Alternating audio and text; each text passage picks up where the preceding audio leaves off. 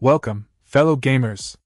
Today, we're diving into the captivating world of Final Fantasy VII with Les Memoirs de FF7 Confessions de Creators.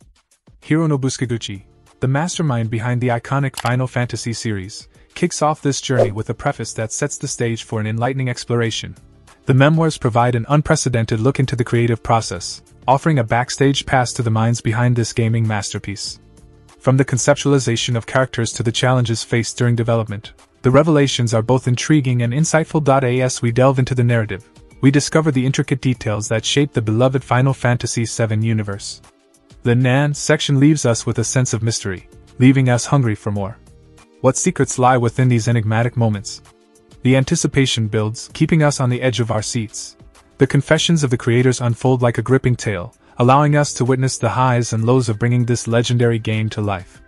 It's a must read for any Final Fantasy enthusiast, shedding light on the untold stories that contributed to the game's enduring legacy.